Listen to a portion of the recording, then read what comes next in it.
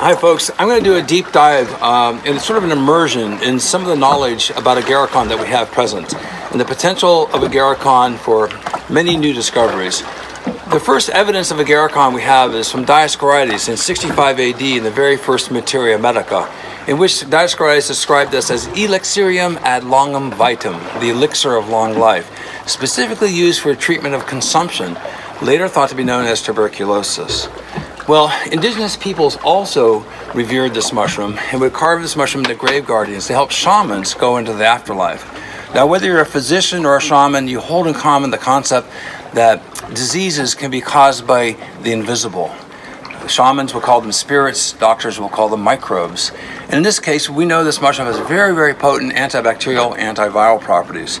We're here with Dr. Scott Franzblau at the University of Illinois Chicago Tuberculosis Research Center, we have discovered through bio-guided fractionation, taking the mycelium in these mushrooms and by doing a decision tree of using solvents, we go down water, being the most sol uh, polar of solvents, using hexane, which is a non-polar, and then we test both those fractions to see if the increase in anti-tuberculosis activity occurred. Then we followed the decision tree that leads us to increased potency. They did this over several years, and then we finally found a group of chlorinated coumarins that are published in the Journal of Natural Products. And these chlorinated coumarins are highly active against XDR, multi-drug resistant strains of tuberculosis. Moreover, working with the BioShield program, the U.S. Defense Department, we discovered that the mycelial extracts, just simple mycelium put into water and ethanol, we took the supernatant, after the polysaccharides that precipitated, the supernatant, the clear fluid at the top of these vessels had within them extremely potent properties against pox viruses, herpes, as well as flu viruses. Working with the University of Mississippi School of Pharmacy with Dr. Samir Ross and his team, they did bioguided fractionation, and lo and behold, we found two novel anti-smallpox molecules.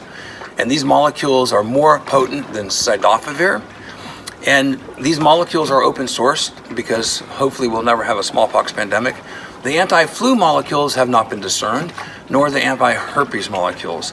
But the point is this mushroom is a deep reservoir of pharmacologically active agents, dually active against flu viruses and pox virus and herpes viruses, as well as against tuberculosis bacteria, staph bacteria, and E. coli. And I think this mushroom presents a fantastic bioshield of defense.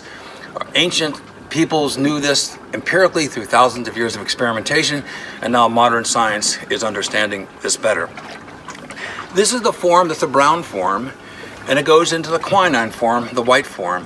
And behind me was a white form of agarikon known as the ghost form. Now the quinine form is reported throughout the literature, being used in tinctures, etc.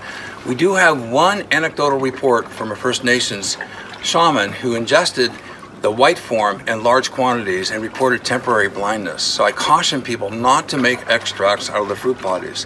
The mycelium is a whole other matter, and this mushroom is considered to be endangered in some ecosystems because it's only associated with old growth forests of the Pacific Northwest, Northern California, Oregon, Washington, and British Columbia, and a few sky islands in Austria and Slovenia uh, in the Alps.